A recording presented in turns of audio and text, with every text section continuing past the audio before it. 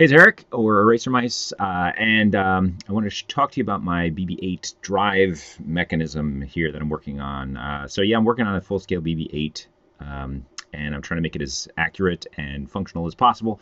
And that, you may have seen the sphere and stuff in other videos, but this is uh, the drive design that I'm working on.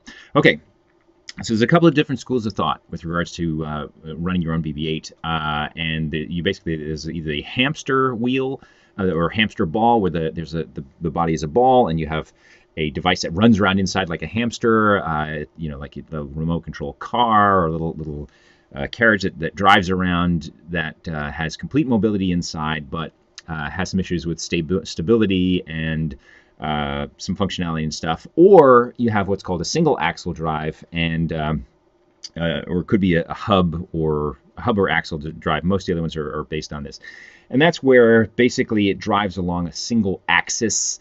Uh, you can imagine having a an axle that goes right through from side to side in some way, and then it just basically shifts its weight in there and rolls. Uh, it shifts its weight on that axis and and rolls. Um, that's uh, the drive, the, the, design I decided to go with, and I'll talk about why uh, as I talk in here. So, okay, um, this is I'm using 123D design from AutoCAD uh, or Autodesk because it's free and uh, it's actually pretty easy to use. Uh, it doesn't quite have all the cool features of some of the big gun CAD programs, but uh, it's it's pretty neat. Uh, quick to you know definitely quick to sketch up stuff. Okay, so here's my drive mechanism from the front. Uh, and uh, you got to imagine that this is in a ball, uh, and uh, the sides over here, these, these little tripods with the gears on them, those are attached to the sides of the ball. Um, so they form, normally there'd be an axle that went straight through. If you've seen some other designs, a lot of them have like a straight through axle or a plate. Uh, I decided to go with a kind of a tripod thing here because it would be hopefully much more rigid and strong because tripods tend to be pretty strong. Um, and I'm also trying to conserve as much space over on the sides as possible. And when I do have to use up space, the idea is to have it basically the, the, the things that are in there be rigid with regards to the sphere so that I can attach things to them. If I do have something like, you know, a little arm that pops out or something like that, uh, panels and things, they can actually attach to uh, this without worrying about it because that stays rigid with regards to the sphere. So let me uh, show you what these things look like here. Uh, I'm going to move this one out just a little bit so you can kind of see. Uh, so yeah, it's got uh, three legs and a gear on it and a stubby little axle. And the stubby little axle goes into this uh, set of bearings here. basically, there's two bearings, one on the front and one on the back of the carriage, uh, or each side of the carriage here. Um, you can see one and kind of see the other one in the back there. I don't know if I can highlight them. Uh, basically, there so there's a dual pressed bearing there that this shaft fits into, so that the weight is carried uh, on there and onto here, right? So it's very much like the pirate ship ride or a Ferris wheel uh, at the amusement park. Lo and behold, um, so that's what uh, attaches the sphere to the drive chassis in here. And the other cool thing about this is you'll notice that you can see straight through there. And the plan is to use a slip ring uh, so that I can put all sorts of wires and connections from the sphere side into the drivetrain side so I can do things like charge my batteries and uh, have lights and signaling and whatever kind of power needs to go back and forth uh, through that through that connection there. And slip rings are really cool. Okay so you have this thing on this side similar thing on the other side. Now you've got the big carriage in the center the carriage uh, drives by shifting its weight, so it kind of turns in uh, uh, the direction you want to move, and so shift weight gets shifted and the ball rolls in that direction. So let me push this back in here. Now the one thing that uh, 123D design doesn't do that I wish it did is like really cool animations and stuff. So yeah, um, there's lots of much cooler videos out there that have lots of animations and things. I'm going to stick to functionality here. Okay. So if you look here, these blue, uh, they're idler, or excuse me, not idler, they're uh, actually pulleys at this point, but they're just placeholders. Uh, imagine them being gears.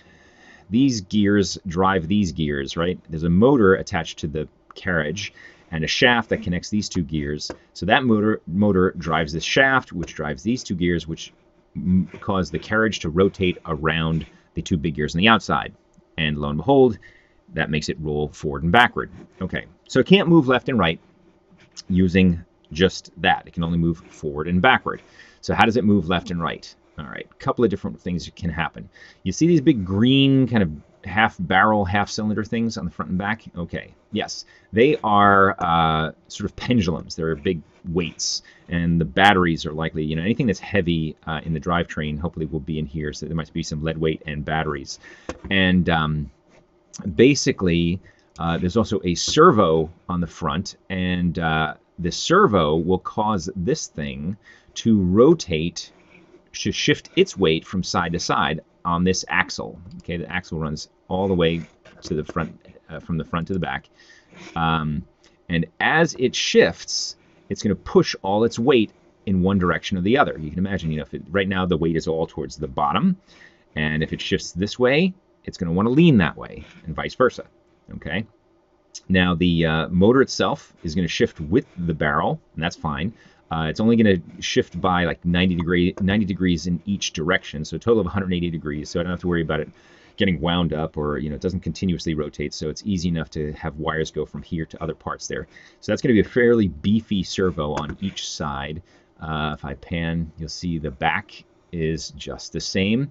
Um, uh, they're independently driven.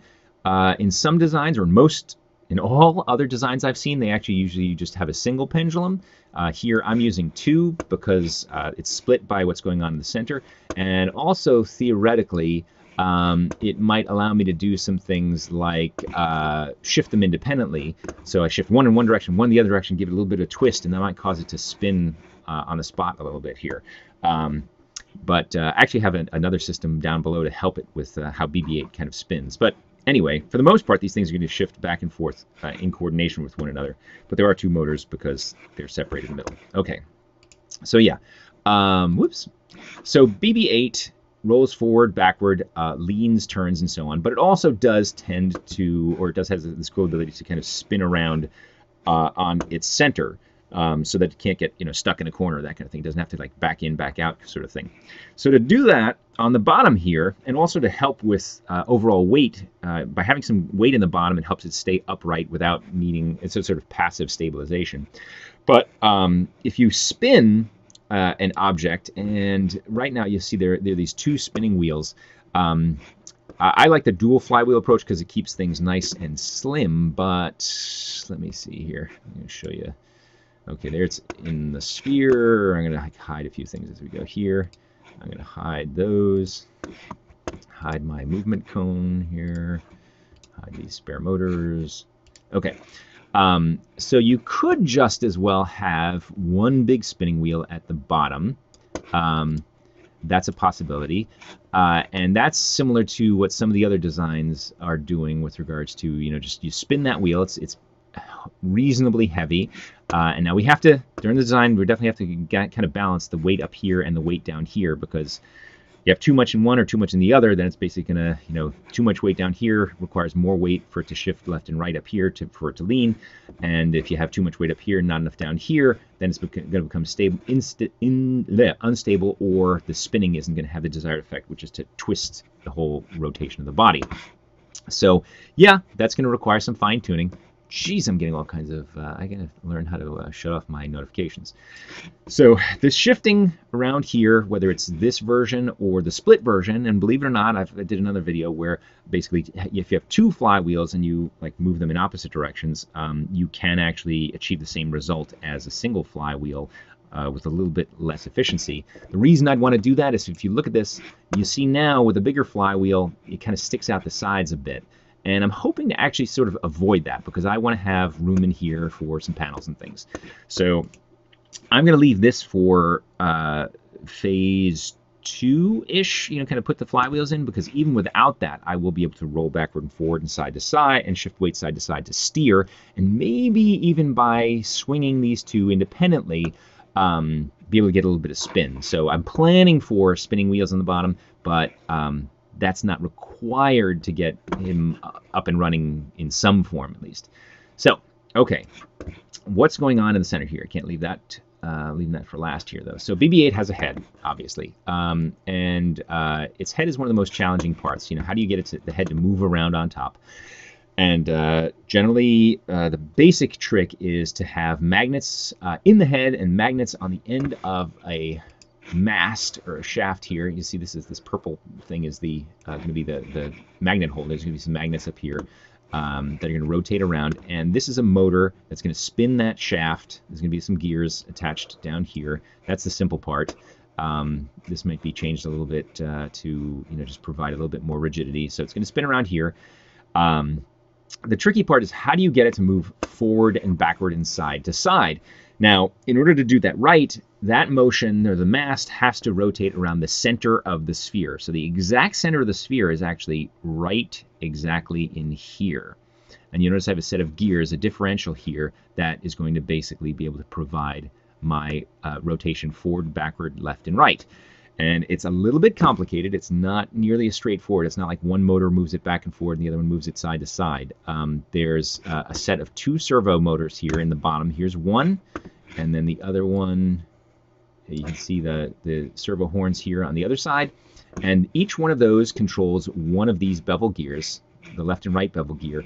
And the second, uh, the, the third bevel gear is just held in place by the relationship between those two. Okay, so uh, feel free to Google differential to find out, you know, the word differential drive to, to understand how a differential works. But long story short, if I uh, imagine if you move these and turn these in opposite directions. So one moves clockwise, one moves counterclockwise, or this one's moving, say, clockwise there, counterclockwise there. And that's going to cause them to rotate around this center, around this one. And if they rotate in that direction, that basically means they're moving uh, in, in that direction. So that would mean that this and this are going to rotate like this if you move them, if you rotate those two motors in opposite directions. Okay. Now, if you rotate them in the same direction, what happens is, imagine you know this is this is moving uh, counterclockwise, and this is moving. Wait, do I get it backwards? Counterclockwise and clockwise. Okay, if I move them opposite directions, um, it's going to to cause it to go side to side. If they're moving the same direction, it moves them front and back. It's kind of weird. Um, trust me on this. There's another video where I talk a little bit more about that. So basically, if they move in exactly the same direction, they move front to back. If they move in opposite directions, it causes this to rotate and they move side to side. So like this one, for instance, now, this differential locking up is going to cause this to stay steady and it's going to pivot at this point here, right? So if I click on that and I say, all right, rotate that, uh, if I can find my little pivoty thing here, yeah, then that is going to rotate, right? Because the motors themselves are going to remain rigid at the bottom and they're going to rotate this axis. Think of it that way, right? So the motors are rigid, so any rotation is going to be around this axis because this also locks them up and the axle is going to stay rigid with respect to uh, itself. All right. So I think that kind of covers it. All right. So we have the gimbal in the center that handles the head movement forward, backward, uh, left and right, basically 360 degrees around.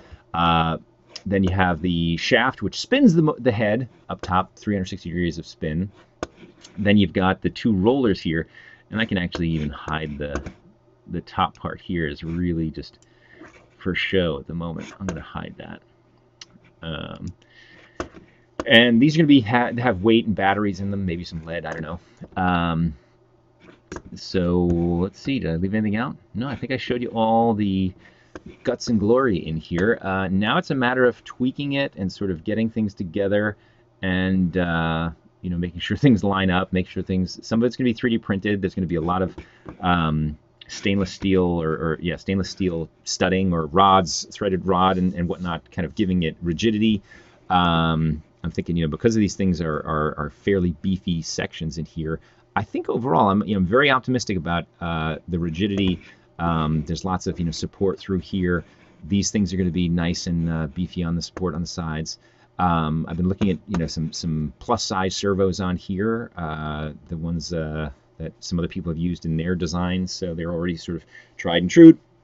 And uh, okay, so stability, uh, how's it going to stabilize itself? Yeah, there's going to be lots of twitching going on, uh, which is the idea, really. Um, this these twitch side to side to keep it stable left and right, and overall the motors can twitch uh, front and back to kind of provide stability in that direction. So it's going to be actively stabilized. You know, that's certainly going to be a key part of it. Um, it's going to be like flying the space shuttle or, or one of these F-15s. Yeah, you know, you can sure you can sort of do it by hand, but you really, really, really want software helping you to do it, um, providing the stability and even the translation between. Um, where you want the head to go and what the two servo motors have to do on the side.